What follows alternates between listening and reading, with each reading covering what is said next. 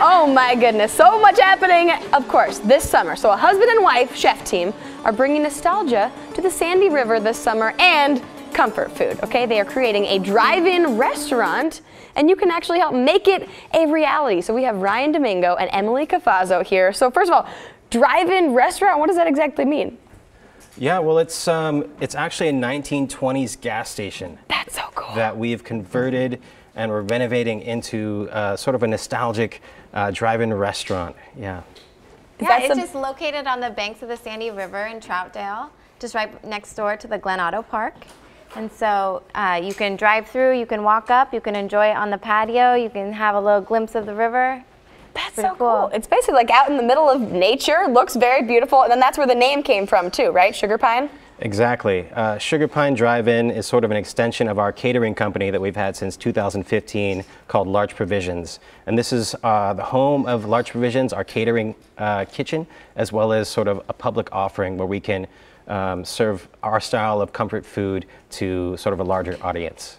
Now you brought some of your beautiful comfort food into the studio, but before we get into making that, just so people can have this in mind while they're like drooling at home watching this, you can actually help these guys open Sugarpine this summer because you set up a Kickstarter page, right? And it's already off to a great start. Absolutely. Definitely. So we have a Kickstarter that we launched just about six days ago. We're already at 40%, but of course we would love your help.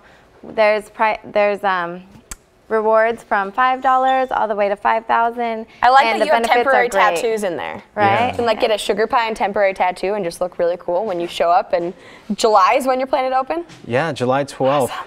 Is our grand opening. Yes, we're really really excited. Okay, well let's get a little taste of what kind of things you have. So you do comfort foods, right? Yes, I'm gonna put together a little bit of a, one of our classic sandwiches, which is a pulled pork sandwich. Wow. We've got some uh, just a brioche roll here with some uh, pasture-raised pork that we smoked on our Traeger grill for about 10 hours. That is a serious pile of pork, if I've it ever is. seen one. We've uh, made a, a, slaw, sort of a seasonal slaw with some um, celery wow. root, some cabbage, rainbow carrots and radish, a little bit of mustard, and um, that is beautiful. Now, we've had yeah. a very hard-working photographer who's been out in the field all day covering who knows what, Scotty Williams.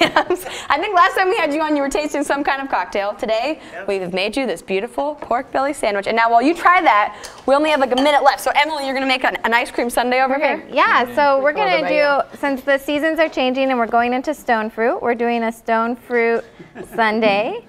Oh, yes. Get it, Scotty. oh, my goodness. How is it? Oh, I'm gonna ask Pretty good. Wait um, you know. Okay, fine. We'll give you time while we keep making ice cream. All right. So there's a peach ice cream with um, cherry coulis, nectarines, and then we'll just put on a couple hazelnuts just to give it that extra little crunch. Wow. That is beautiful. And why not some sprinkles? Oh, yes. I love the beautiful sprinkles. And I saw one of the things on the Kickstarter that you guys have gold sprinkles. If people like donate yes. enough, they can have really fancy gold sprinkles. Yeah, for $20, oh we do the golden ticket. So it's a sundae with all the toppings you could ever want. And I want to get all the toppings on here. Oh gosh, I feel like I'm going to spill something. Ah! You may. Scotty, how is the sandwich? While I try to strategize. It's good, and all those stories out at Glenn Otto Park this summer are going to be awesome. Thanks so much. oh my gosh. We're really excited to be part of the revitalization of the gorge. It's, nice. it's really important to us to support local businesses and, and bring some, uh, some comfort food to the community after the devastation of uh, the Eagle yes. Creek fire last year. So we're, we're really excited. Well, this is definitely comforting to me. Scotty, how comforting is the pork I'm sandwich? more comfortable, yeah. Right? Oh my gosh, Monday has gotten so much better.